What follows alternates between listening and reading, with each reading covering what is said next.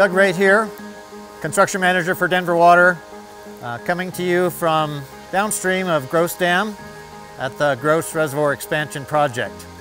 Uh, behind me, you'll see the old dam. We're working on the foundation, excavation, grouting, getting this structure ready for next season's dam raise with the roller compacted concrete. The new dam starts at the bottom of the valley and comes up in steps. Each step comes up four feet, steps back two, up four, back two, and through 118 steps, we come up to the top of the new dam. So the new dam is 471 feet tall, 131 feet above the top of the dam that you can see behind me. So this is the bottom of the dam. Now we're gonna take you to another location on our site where we're gonna show you how we're preparing to raise the dam next season. We moved back from the dam here to the full-scale trial placement. This is where we practice all the techniques and use the materials that we use to raise the dam.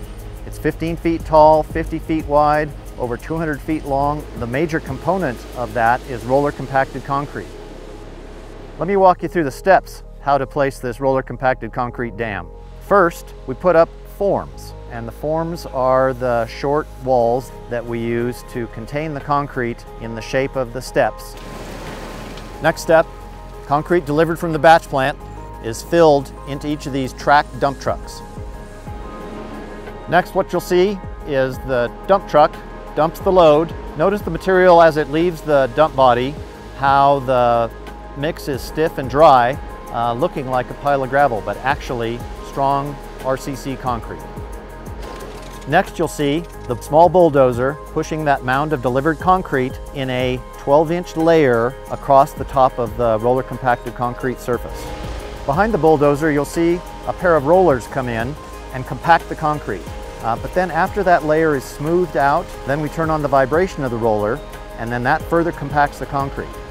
So the main benefits of the roller compacted concrete technique is the speed with which these layers can be put in, and then the speed that the dam can be raised. Uh, provides a high quality construction and also meets all of the design objectives. Uh, the roller compacted concrete technique is really the most modern, contemporary way to build a concrete dam. Wanted to give you a different look now that the forms have been removed. This is what the downstream face of the dam is going to look like. Four foot high step, two foot in, four foot up, continuing to the top of the dam. The timeline for the project begins next spring, 2024. First raise of the dam from the bottom of the valley up roughly to the top of the existing dam. Second season, 2025, takes us from the top of the existing dam to the new crest elevation. Final work on the top of the dam ends in 2026. By 2027, we'll be ready to start taking water into the reservoir. We showed you a lot today. For more information about this project, go to our website, grossreservoir.org.